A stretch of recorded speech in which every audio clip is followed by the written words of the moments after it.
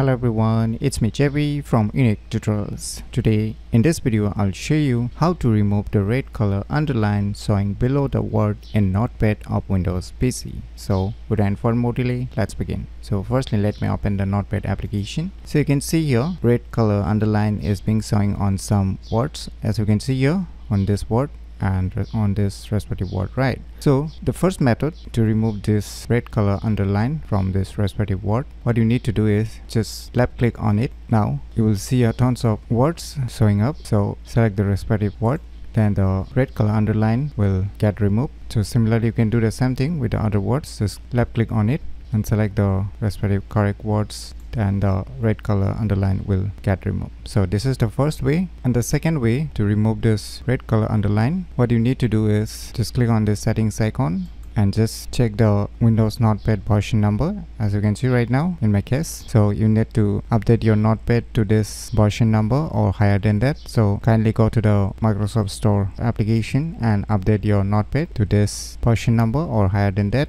Then after that just right mouse click on any blank area of your Notepad.